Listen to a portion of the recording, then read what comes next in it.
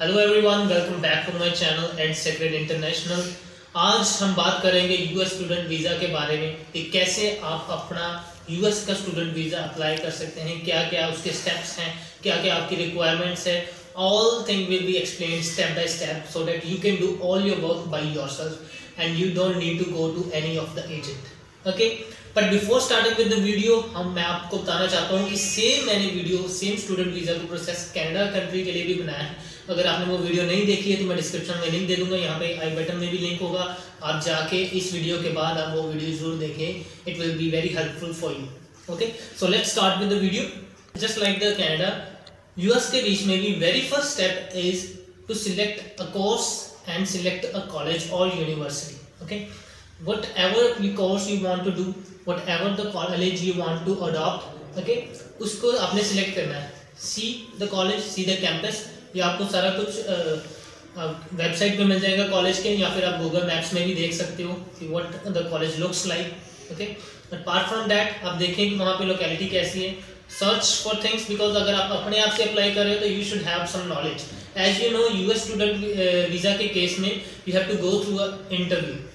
got it तो उसके लिए आपकी प्रेपरेशन अलग से होनी चाहिए। You will be asked some questions regarding your locality where which college you are going and where uh, where is it located okay so you should be prepared for that you don't need to uh, work extra hours for that जैसे जैसे आप ये process करोगे वैसे वैसे आपकी knowledge बढ़ती जाएगी okay so let's continue to part two college आपने देख लिया then go through the website official page उनके होते हैं उनके एंटर uh, करें उसमें देखें आपका कोर्स सिलेक्ट करें उसकी एलिजिबिलिटी क्राइटेरिया क्या है क्या उसकी एकेडमिक डिमांड्स हैं? या बैंड्स चाहिए? नहीं चाहिए? आइल्स के बैंड्स चाहिए? ठीक है? और अपार्ट फ्रॉम डैट उसकी ट्यूशन फ़ीस क्या है? एंड जो उसके, उस लोकेलिटी के लिविंग एक्सपेंसेस क्या हैं, वो ज़रूर कंसीडर कीजिए। बिकॉज़ जो भी आपकी ट्यूशन फ़ीस है एंड लिविंग एक्सपेंसेस हैं, वो आपको अपने बैंक अकाउंट में शो कर रहे हैं इन अ लिक्विड फंड्स चाहे वो लिक्विड फंड आपके अकाउंट में हो जाए या आपके पेरेंट्स में अकाउंट में हो जाए या जो हुएवर इज़ स्पॉन्सरिंग यू उसके अकाउंट में हो जाए okay so next fees is आप उसकी जो एलिजिबिलिटी क्राइटेरिया है उसको पूरा करें एंड uh, आप अप्लाई uh, करें that whole application of a college is online आप उनको पे करें कॉलेज फ़ीस जैसे भी वो एक्सेप्ट करते हैं इधर from credit card Western Union और direct transfer to the bank accounts आप उसको पेमेंट करें एंड अपनी एप्लीकेशन वहाँ पे दर्ज करें ओके एप्लीकेशन देने के बाद within fourteen days most cases में फोर्टीन डेज़ के अंदर आपको ऑफ़र लेटर आ जाती है और इन केस ऑफ़ यूएस हम उसे आई ट्वेंटी भी कहते हैं।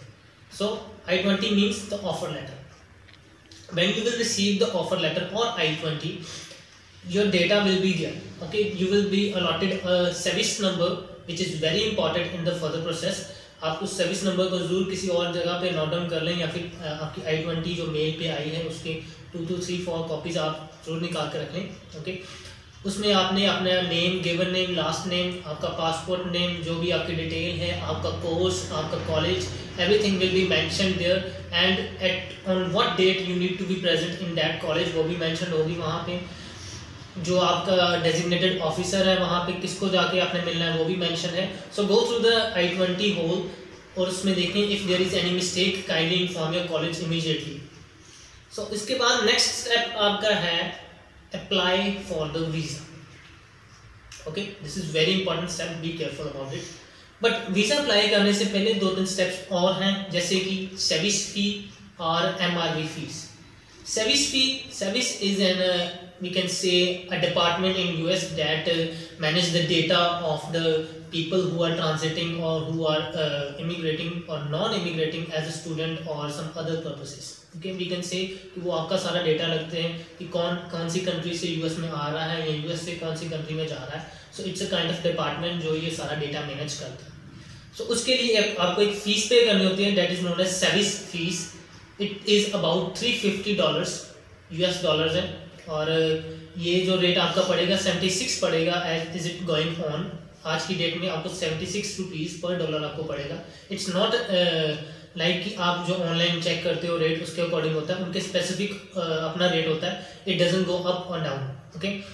so three fifty dollar आपकी सर्विस फ़ी होगी। उसके बाद आपने फ़ी करनी है pay M R V it is also known as embassy fee okay? Embassy fee is 160 dollars us dollars. Sure sure कि आप दोनों पे कर दें। हाँ जो सर्विस फ़ी है you can pay only through the credit card there is no other option हाँ अब अगर आप बात करते हैं एम आर फ़ीस और एम्बेसी फ़ीस की, वो आपको जो बैंक है, उसमें डिपॉजिट करवाना होता है। इधर इट इज़ एक्सिस बैंक और Citi bank got it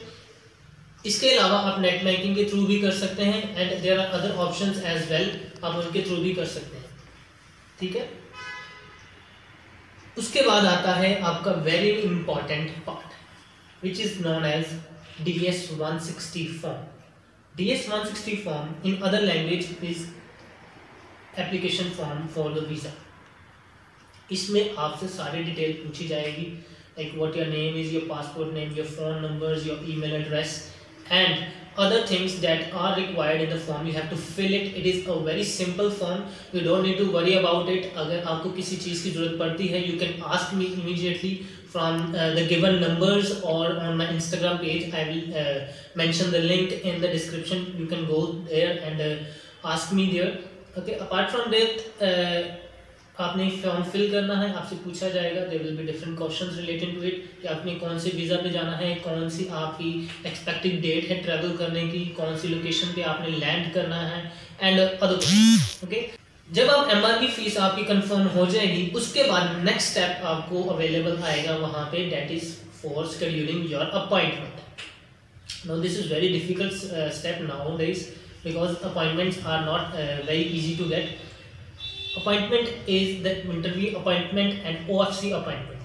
O F C means जो आपने बायोमेट्रिक एंड फ़ोटो देनी है that is a different appointment and interview की अपॉइंटमेंट डिफरेंट होती है. So you can go to any consulate और embassy that is available near to you इधर it is New Delhi Mumbai Kolkata Hyderabad और Chennai whatever is close to you और you can go to any consulate it doesn't affect your visa decisions जैसे आपने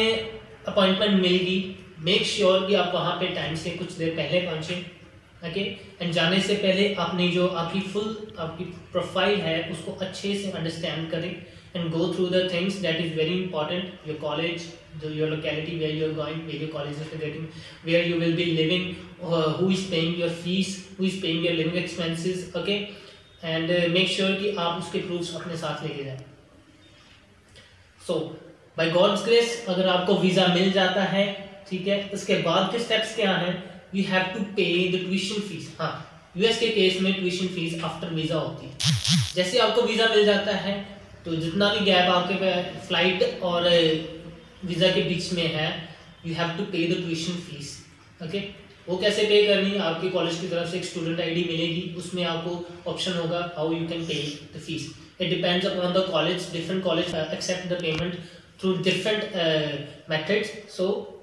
it's up to the college how they receive. Got it? Now last thing आपने ticket book करनी है और